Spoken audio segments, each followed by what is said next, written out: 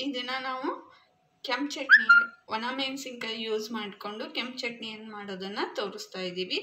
ಇದನ್ನು ಯಾವುದಕ್ಕೆ ಬೇಕಾದ್ರೂ ಯೂಸ್ ಮಾಡ್ಬೋದು. ಚಪಾತಿ, ಪರೋಟ, ದೋಸೆ ಯಾವುದಕ್ಕಾದ್ರೂ ಯೂಸ್ ಮಾಡ್ಬೋದು. ಇದು ಕಟ್ಟ ಮೀಠ ಆಗಿರ್ತೈತಿ. ಇದು ಕಟ್ಟ ಮೀಠ ಅಂದರೆ ಹುಳಿ, ಬೆಲ್ಲ ಎಲ್ಲ ಇರುವುದಕ್ಕೆ ಮಕ್ಕಳು ಕೂಡ ರೆಡ್ ಕಲರ್ ಚಟ್ನಿ ಅಂತ ಹೇಳಿ ಇಷ್ಟಪಡ್ತಾರೆ.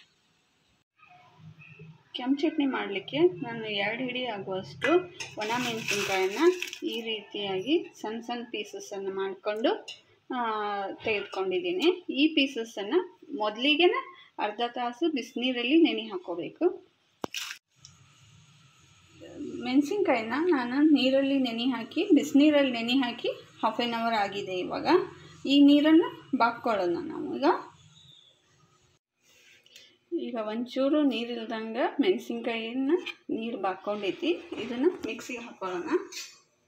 ಈ ಮೆಣಸಿನ್ಕಾಯಿಗೆ ಎರಡು ಮೀಡಿಯಮ್ ಸೈಜ್ ಉಳ್ಳಾಗಡ್ಡಿ ಅಂತ ತೆಗೆದುಕೊಂಡು ಮಿಕ್ಸಿಗೆ ಹಾಕೋಣ. ದೊಡ್ಡದಾಗಿ ಈ ರೀತಿಯಾಗಿ ಕಟ್ ಮಾಡಿದೆ.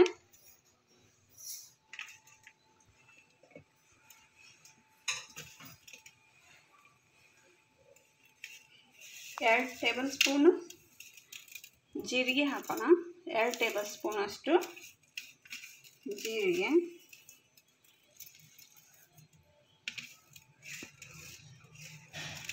ಒನ್ ಟೇಬಲ್ ಸ್ಪೂನಷ್ಟು ಹವಿಜ ಹಾಕೋಣ.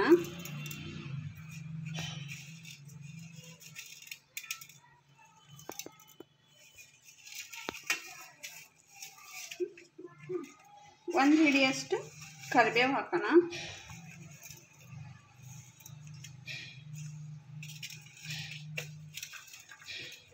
ಎರಡು ಗಡ್ಡೆ ಬೆಳ್ಳುಳ್ಳಿ ಹಾಕೋಣ. ಒಂದು ನಿಂಬೆ ಹಣ್ಣಿನ ಗಾತ್ರದಷ್ಟು ಹುಣಸೆಹಣ್ಣನ್ನು ತೊಳೆದ್ಬಿಟ್ಟು ಮಿಕ್ಸಿಯಲ್ಲಿ ಹಾಕೋಣ. ಈ ಎಲ್ಲ ಸಾಮಾನನ್ನು ಚೆನ್ನಾಗಿ ನುಣ್ಣಗೆ ರುಬ್ಕೊಳ್ಳೋಣ ನಾವು. ಈ ಮಿಕ್ಸಿ ಮಾಡಿದ್ದು ಈ ರೀತಿ ನೈಸಿಗೆ ನುಣ್ಣಗಾಗಿ ರುಬ್ಕೋಬೇಕು. ಆನಂತರ ಇಲ್ಲಿ ಗ್ಯಾಸ್ ಮೇಲೆ ಗ್ಯಾಸಿಗೆ ಒಂದು ನಾಲ್ಕು ಸ್ಪೂನ್ ಆಗುವಷ್ಟು ಎಣ್ಣೆ ಹಾಕಿ, ನಾಲ್ಕು ಟೇಬಲ್ ಸ್ಪೂನ್ ಆಗುವಷ್ಟು ಎಣ್ಣೆ.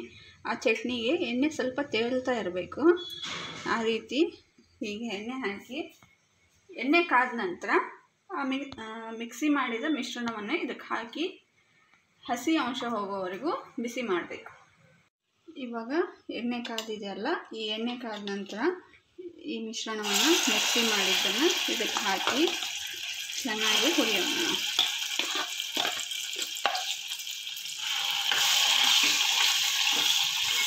ಈ ರೀತಿ ಈ ರೀತಿ ಸ್ವಲ್ಪ ಎಣ್ಣೆ ಹೆಚ್ಚಿಗೆ ಇಟ್ಟು ಹುರ್ಕೋಬೇಕು. ಎಣ್ಣೆ ಮೇಲೆ ಬರ್ತಾ ಇರಬೇಕು.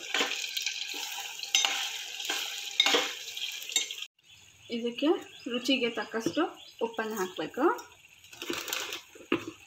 ಹಳಕ್ಕೆ ಉಪ್ಪು ಹಾಕಿದರೂ ಪರವಾಗಿಲ್ಲ. ಇವಾಗ ಬಿಸಿಗಿಟ್ಟಿರ್ತೀವಲ್ಲ, ಅದು ಮೆಲ್ಟಾಗಿ ಕರಗುತ್ತೆ. ಬೈ ಇವಾಗ ನಾವು ಎರಡು ಹಿಡಿ ಆಗುವಷ್ಟು ಮೆಣಸಿನ್ಕಾಯಿ ತುಂಡನ್ನು ತೊಗೊಂಡಿದ್ದಿದ್ವಲ್ಲ, ಅದೇ ರೀತಿ ಎರಡು ಹಿಡಿ ಆಗುವಷ್ಟು ಬೆಲ್ಲನ ಹಾಕ್ಬೇಕು ನಾವು. ಎರಡು ಹಿಡಿ ನಾನು ಬೆಲ್ಲ ಹಾಕ್ತಾ ಇದ್ದೀನಿ.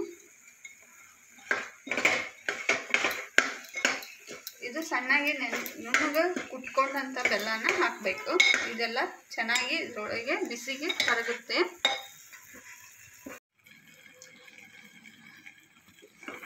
ನಾವು ಹಾಕಿದಂಥ ಬೆಲ್ಲ ಮತ್ತು ಉಪ್ಪು ಇವಾಗೆಲ್ಲ ಕರಿಗಿದೆಯಲ್ಲ ಇವಾಗ ನಾವು ಟೇಸ್ಟ್ ನೋಡಿ ಸರಿ ಇತ್ತು ಸರಿ. ಇಲ್ಲ, ಇನ್ನೂ ಸ್ವಲ್ಪ ಉಪ್ಪು ಬೆಲ್ಲ ಬೇಕಿದ್ದರೆ ಈ ಟೈಮ್ನಲ್ಲಿ ಹಾಕಿ ಮತ್ತು ಬಿಸಿ ಮಾಡಬೇಕು.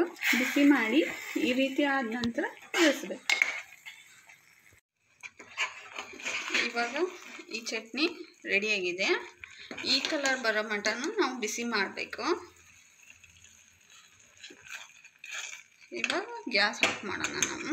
ಮಕ್ಕಳು ಬ್ರೆಡ್ಡಿಗೆ ತುಪ್ಪ, ಈ ಚಟ್ನಿ ಕೂಡ ಹಚ್ಕೊಂಡು ತಿನ್ನಲಿಕ್ಕೆ ಇಷ್ಟಪಡ್ತಾರೆ.